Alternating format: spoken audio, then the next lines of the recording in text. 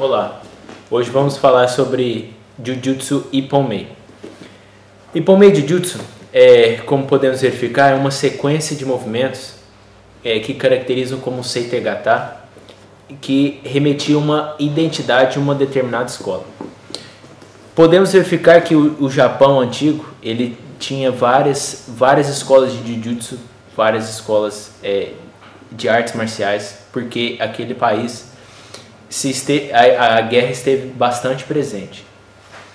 Como podemos verificar aqui agora, é, os movimentos eles procuram basicamente é, uma situação corriqueira do dia.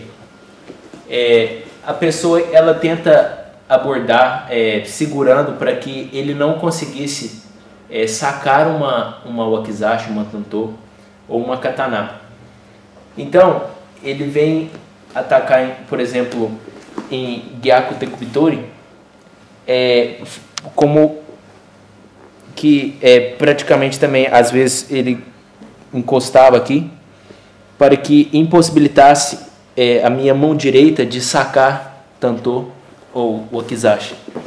Então, a partir disso, ele procurava, ele procurava utilizar o seu movimento, é, procurando também se resguardar da sua outra mão que poderia portar uma uma tantô para perfurar é, ou estocar, é, movimentando-se de forma, de maneira que ele não conseguisse utilizar, fazendo com, com que as alavancagens quebrassem o cotovelo e as projeções, sempre como vamos verificar no Jujutsu, que o chão é, se tratava como sendo uma arma.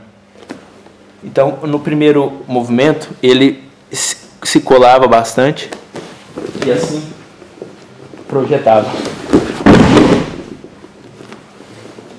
Podemos verificar também sim, é, que ele é, vinha atacar em é, segurando o nosso moneto com as duas mãos e a partir disso nós tínhamos que nos movimentar de maneira que é, cons cons conseguíssemos é, colocar o nosso é, corpo de maneira é, perpendicular para que ele ocorresse um desequilíbrio na sua coluna e assim realizamos a, a técnica para que depois pudesse passar, bater e é, se conseguir é, sair daquela situação que te trazia risco.